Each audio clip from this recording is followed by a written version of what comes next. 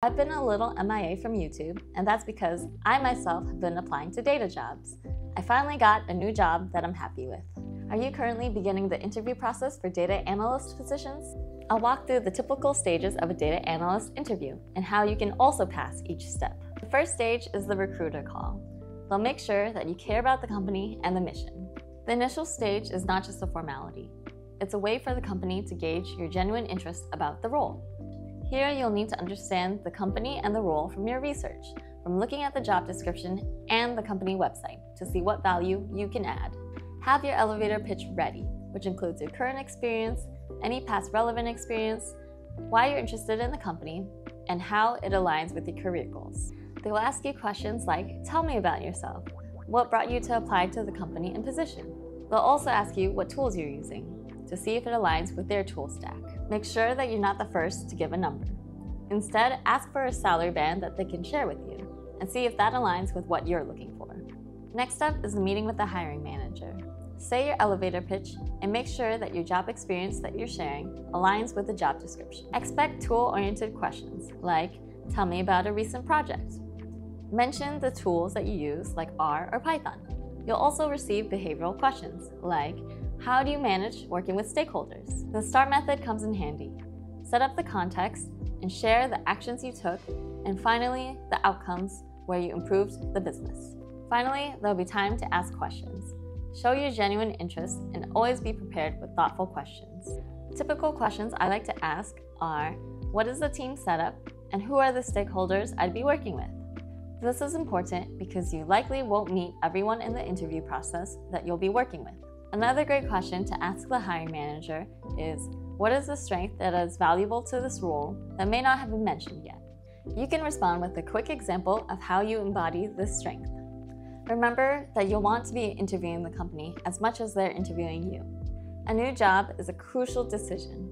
You'll want to envision yourself working there, that you can see yourself working among the team, and that it aligns with your career goals. After you pass the interview with the hiring manager, you'll have a take home programming assignment or schedule an in person coding interview to test your skills. Take homes generally use SQL CoderPad or you'll have a case study that you can use Python or R to answer questions.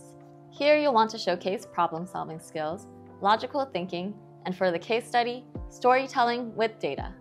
You will generally have some time in the next interview to debrief on your take home assignment and present your findings. For in person coding, you'll want to speak out loud, explain each function, and describe the next logical step. The interviewer will generally help you if you're stuck, so try to remain calm if you're not sure what's next. You can even ask if you can look up a function, but try to explain what you're looking for. They want to see that you're a logical, step by step thinker, as that's what data analysts do when coding.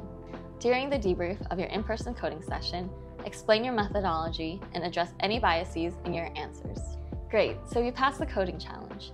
Next, you'll speak with the team members. It's generally three 30 minute sessions with different people. It can be a mix of people with the same role people you might be working closely with, and stakeholders. They will cover the following topics work and internship experience, experience with programming languages, project management, communicating and presenting findings, and talking with stakeholders. Typical questions include How do you approach a business problem that a stakeholder gives you? You have competing deadlines. How do you handle this with stakeholders? In these interviews, it gives you a chance to learn more about the day to day of what you would do and paints a picture of who you would be working with. It's key to ask yourself if you communicate with these folks well.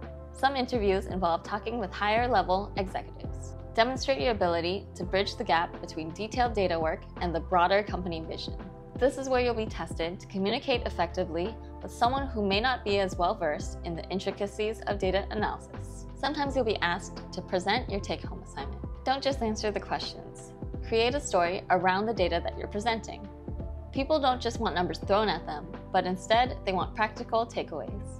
Remember to have a limitation slide and include any edge cases that your analyses may not have covered. Focus your time on the data visualizations and make sure that they can act as standalones, meaning that you have labels and interpretations on the slides. In this whirlwind of interviews, make sure that the company aligns with your career goals. So ask questions, clarify doubts, and make sure you understand the team dynamic and what you will do day to day.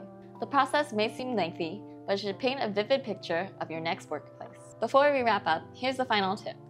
Use ChatGPT to help you prepare for interviews. It's a fantastic tool for simulating interview questions, helping you to refine your responses. Remember that with each interview, you're gaining more practice, and with the right preparation, you can confidently navigate the interview process.